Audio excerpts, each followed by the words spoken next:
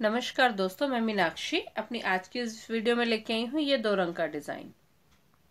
यह है इसका आगे का हिस्सा, फ्रंट पार्ट, और यह है इसका पीछे का हिस्सा, बैक पार्ट।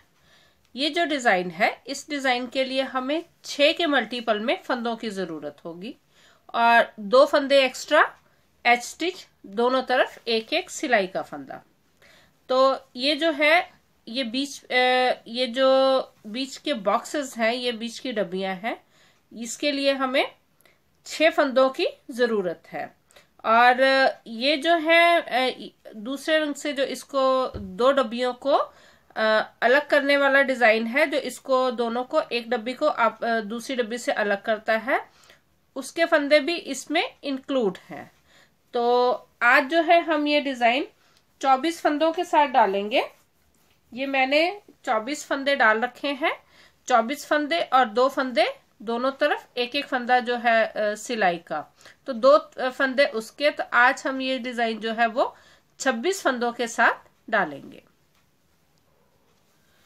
अभी जो है मैंने अपना एक रंग से जिस दो रंग इसके लिए हमें चाहिए, एक लाइट और एक डार्क तो अभी डार्क कलर से जो है मैंने अपना एक ये गार्डा स्टिच गार्डा स्टिच की लाइन जो है वो निकाल रखी है।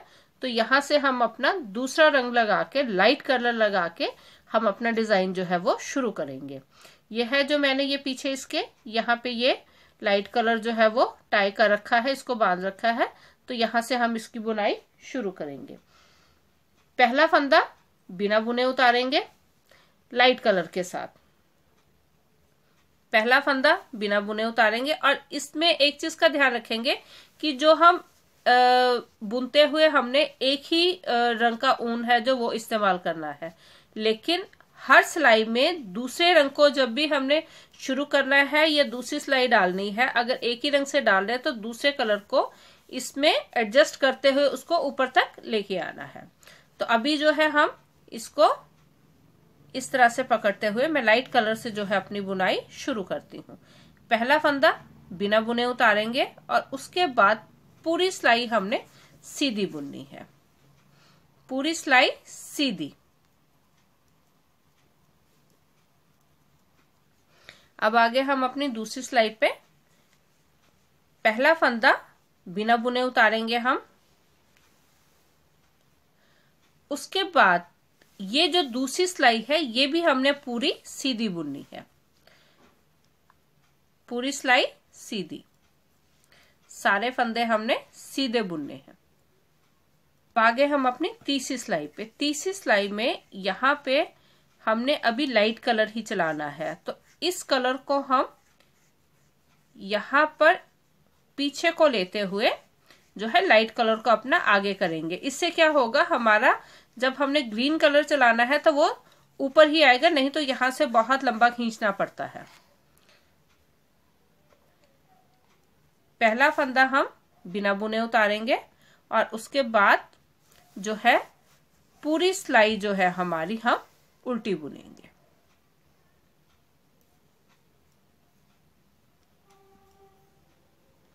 पूरी सिलाई उल्टी। मतलब पहली दो सिलाई हमने सीधी बुनी थी उसके बाद जो है, तीसरी सिलाई हमारी उल्टी बुनी जाएगी। अब आगे हम अपने डिज़ाइन के चौथी सिलाई पे। चौथी सिलाई में पहला फंदा हम बिना बुने उतारेंगे और उसके बाद सारे फंदे जो हैं, उनको हम सीधा बुनेंगे। मतलब इसमें हमने सिर्फ़ एक ही सिलाई उल्टी बुनी है, बाकी तीनों सिलाई जो लाइट कलर से बुन रहे हैं, वो हमने सीधी बुनी है। तो ये सिलाई भी हमारी पूरी सीधी जाएगी।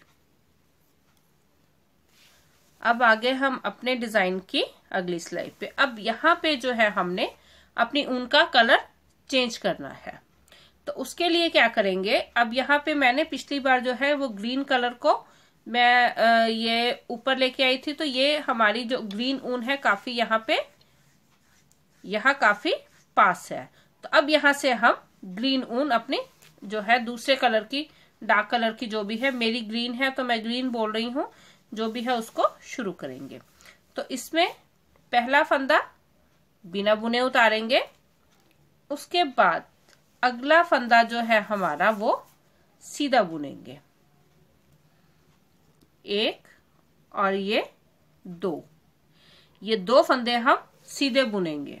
उसके बाद जो है जो हमारा ये फंदा है, यहाँ से हम एक, दो और तीन, ये इसी कलर के लाइट कलर के हैं।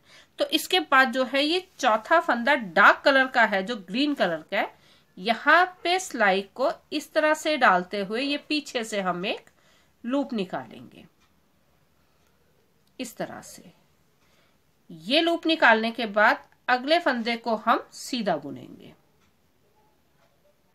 ये फंदा बुन लिया। इस फंदे को बुनने के बाद, जहाँ से हमने पहला लूप निकाला था, वहीं से हम एक लूप और निकालेंगे। इस तरह से। और ये जो है, अब हमारे तीन फंदे हो गए। एक, दो और तीन। अब आगे से एक फंदा फिर हम अपनी जो उल्टे हाथ की सिलाई से एक फंदा फिर बुनेंगे। ये हो गए हमारे चार फंदे। अब जहाँ से हमने पहले दो लूप निकाले थे, वहीं से अब हम तीसरा लूप भी निकालेंगे।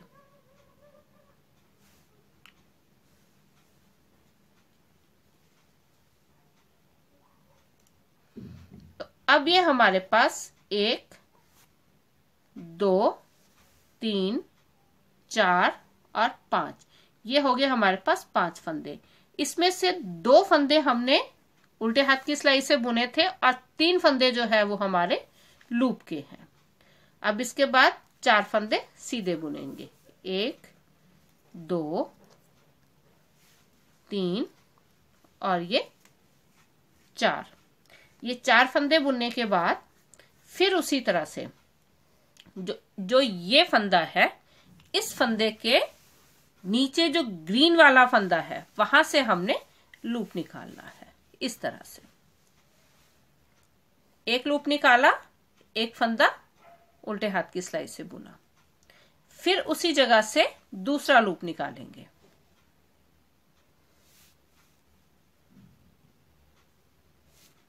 अब फिर एक फंदा उल्टे हाथ की सिलाई से बुनेंगे।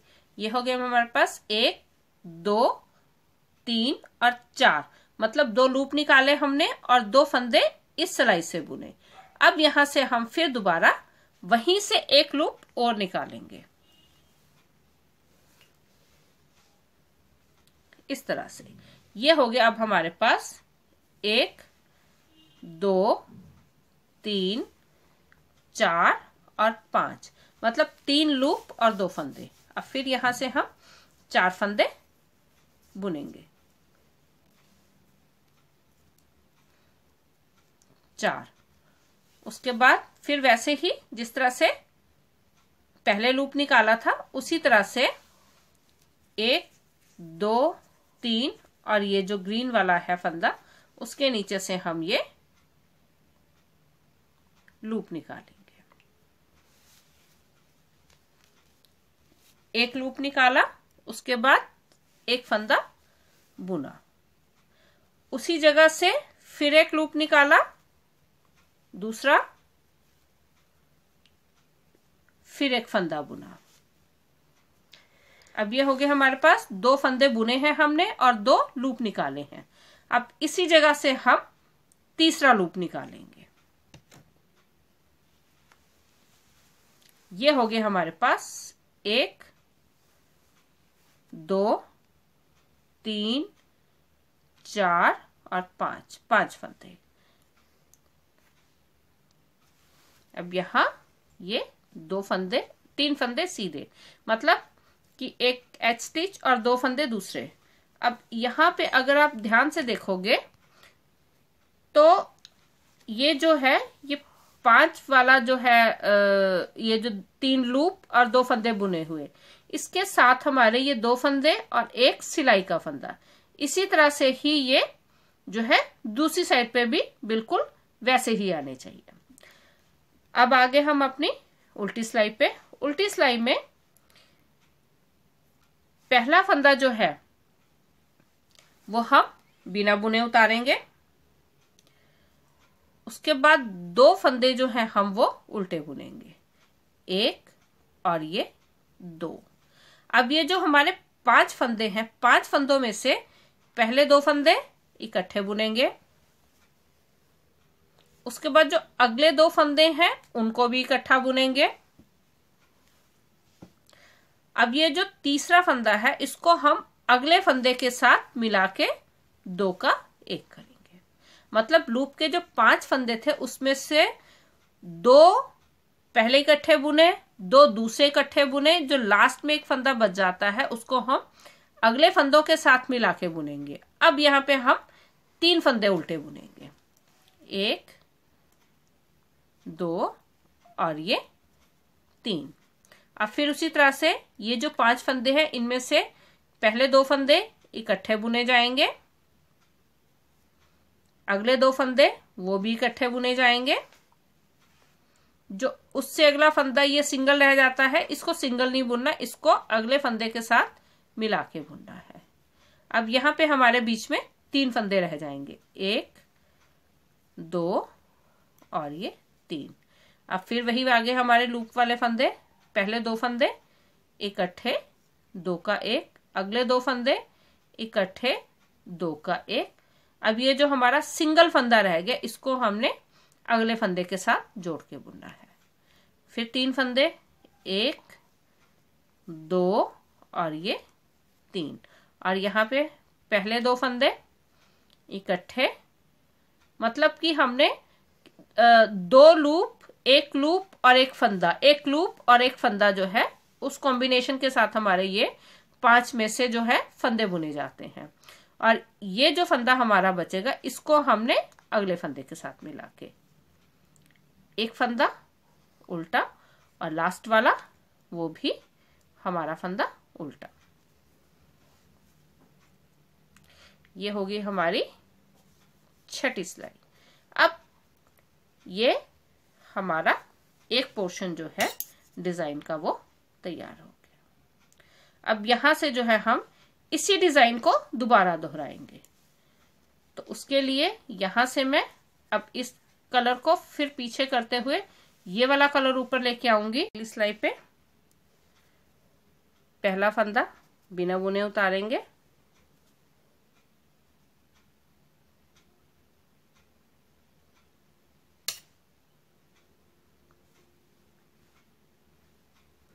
पहला फंदा बिना बुने उतारेंगे और बाकी की पूरी सिलाई हम उल्टी बुनेंगे। सारी सिलाई हमारी उल्टी जाएगी।